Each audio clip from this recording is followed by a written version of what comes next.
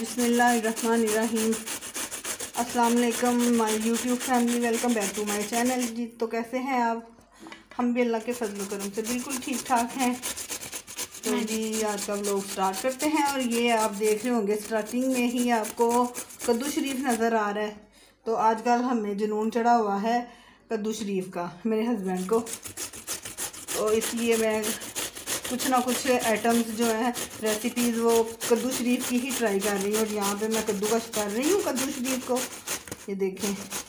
तो इसके मैं बनाने लगी हूँ कोफ्ते। कद्दू के कोफ्ते? हाँ जी कद्दू के कोफ्ते। मतलब? ईमान बड़ा हैरान हुई है कि कद्दू के कोफ्ते? अल्लाह सही सही बताओ मम्मा। हाँ जी। चिकन के कोफ्ते होते हैं मटन के कोफ्ते होते हैं बीफ के कोफ्ते होते हैं। मैं ये आज बनाने लगी हूँ कद्दू के कोफ्ते।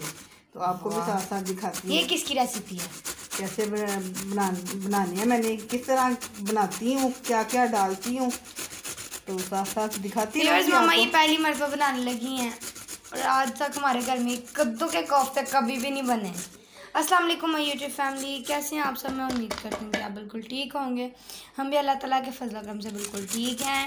तो आज आपको मिलेगी live Iram Musta family blogs पर एक नई रेसिपी कद्दू के कोफ्ते। लाइफ ये इरम मुस्तफ़ा मुँह से निकलता क्योंकि हमने डेढ़ साल उस चैनल पर काम किया है। तो उसी चैनल का नाम जो है ना हमारी ज़ुबान से है। दुआ करें मुझे वो चैनल वापस मिल जाए। अगर किसी को कुछ मालूम है उस बारे में तो वो भी मुझे बताएँ मुझसे शेयर करें ताकि मुझे इतना समय चैनल मिल जाए। आ जाओ आप। जी तो ये देखें मैंने कद्दूकश कर लिया इनको लौकी को। अब मैं इसमें नमक ऐड करने लगी हूँ। बिस्मिल्लाहिर्रहमानिर्रहीम। तो स्पाइसेस जो है ना वो आपने अपने टेस्ट के अकॉर्डिंग डालने हैं ठीक है? बिस्मिल्लाह। हर किसी का अपना अपना टेस्ट होता है, कम ज़्यादा का। ठीक है, थोड़ी सी हल्दी ऐड करते हैं।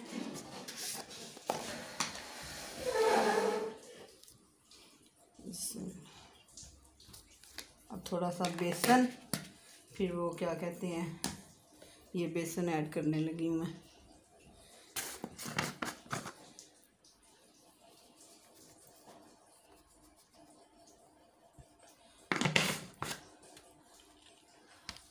अब मैंने इसमें प्याज चॉप करके, सब्ज़ मिर्च और प्याज चॉप करके डालना है। बाकी दिखाती हूँ आपको। अब मैंने थोड़ा सा ज़ीरा ऐड किया है। बिस्मिल्लाह सूखा धनिया। ज़ीरा। अब इसको मिक्स करती हूँ। प्याज और वो मैं काटती हूँ। अभी वो मैंने काटने हैं। बिस्मिल्लाह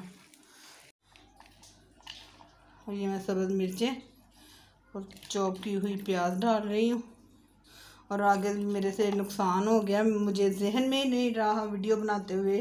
वीडियो के चक्कर में कि मैंने पानी निकालना था। जिसमें काली मिर्च डाल रही हूँ अब। तो पानी मैंने निकाला नहीं था तो सारा कुछ डाल दिया।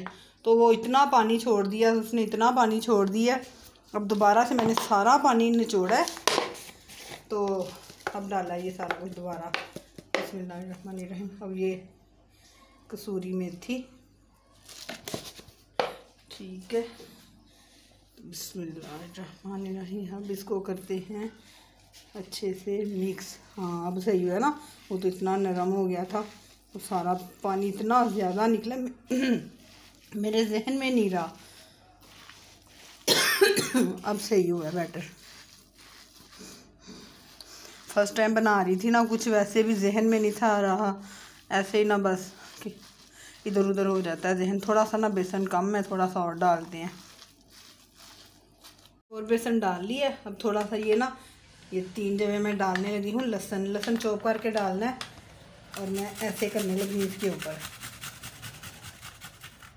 ये देखिए ये जो बारीक वाला है ना ये देख। पीस। तीनों पीस हो गए जब थोड़ा लहसुन डालना हो ना दो तीन पीस तो फिर मैं ऐसे करती हूँ, ये देखिए। बारीक सा। बिस्मिल्लाहिर्रहमानिर्रहीम, इसको करते हैं अब मिक्स अब, और इसको शेप देते हैं। और अब हम आपको जब दिखाएँगे, जब हम कोफ्ते बना के इनको चूल्हे पे चढ़ा देंगे। फ्राई करते हैं ना अब इनको शेप अरे बिट्टू बेटा आराम से करा चाहे आप ओवल शेप दे दें चाहे गोल। अब गोल अच्छा बैटर बन गया नहीं तो पता नहीं क्या हुआ ऐसे बस। गोल ही देना पापा बोला समझे अंडा बना दिया। ऐसे ही पापा को पता नहीं चल जाना है पापा को पता। सरप्राइज़ है पापा के लिए बस। पापा ये कह रहे हैं कि मुझे आजकल कद्दू की चीज़ें बना के दो।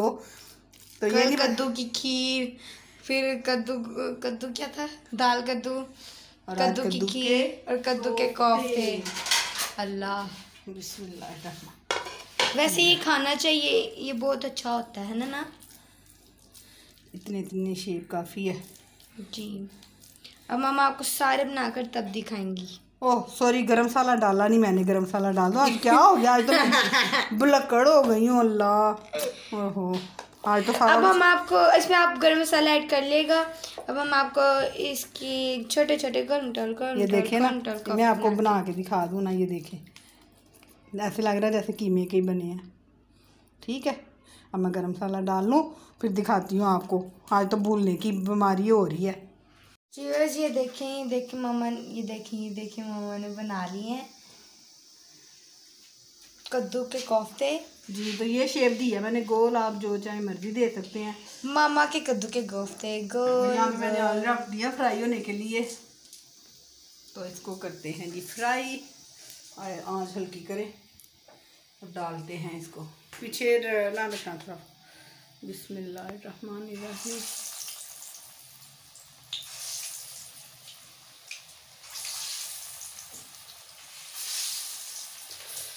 डर लग रहा है छींटे ना पड़े। पहले इतने कर लेते हैं ना। यहाँ पे देखें, ये फ्राई हो रहे हैं। और मैं इतनी खुश हो रही हूँ कि मैं कामयाब हो गई हूँ कद्दू के कोफ्ते बनाने में। ये खुशी मुझे इतनी हो रही है कि चले मैं कामयाब हो गई हूँ, उसकी ग्रेवी बनानी है। ग्रेवी मैं उसी तरह बनाऊँगी, जैसे मैंने सेम वो फ्रोज़न कोफ्ते नहीं थे बनाए जो हमने उस दिन चिकन के फ्रोज़न कोफ्ते बनाए थे। तो ग्रेवी उसी तरह की बनाऊँगी, लेकिन कोफ्ते डिफरेंट होंगे, वो थे चिकन के और ये है लौकी के लौकी के कोफ्ते। तो बाकी आपको रेडी करके दिखाएँगे। देखें व्यूवर्स फ्राई हो गया कोफ्ते, और इतने अच्छे और इतने मज़े के लग रहे हैं ना, मुझे तो बिल्कुल भी नहीं लग रहा कि लौकी के बनाए हैं। बिल्कुल भी लौकी के कोफ्ते नहीं लग रहे फ्राई होने के बाद। और इनको ज़्यादा मैंने ब्राउन कर लिया कि मुझे यही था कि अंदर से कहीं कच्चे ना रह जाएँ। तो इसलिए आपको ये लालो लाल लग रहे होंगे, लालो लाल। और यहाँ पे ये सेम प्रोसेस जो मैंने वो बताए थे आपको चिकन कोफ्ते फ्रोज़न ये उसी तरह बना रही हूँ मैं ये ग्रेवी जो है। ये देखें थोड़ा सा मैंने ग्रेवी बनाने के लिए पानी डाला है। और माशाल्लाह से देखिए वाह ज़बरदस्त।